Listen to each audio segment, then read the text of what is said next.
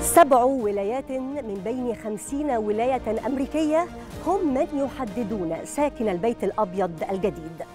ولايات متأرجحة. هكذا أطلق عليها. إذ أنها لا تصوت بشكل واضح لأي من الحزبين الديمقراطي أو الجمهوري.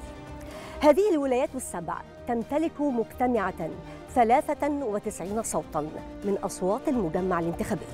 ما يجعلها رهانا مربحا للمرشحين. حتى اللحظات الأخيرة احتفظت هذه الولايات بغموضها بشأن نوايا التصويت واستعصت على استطلاعات الرأي.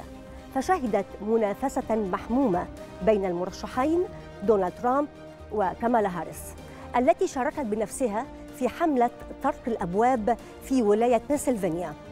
وذلك لحث الناخبين على المشاركة في التصويت لها. الولايات السبع هم أريزونا، جورجيا، ميشيغان، نيفادا، بنسلفانيا، ويسكونسن ونورث كارولاينا ماذا يحرك الناخبين في هذه الولايات؟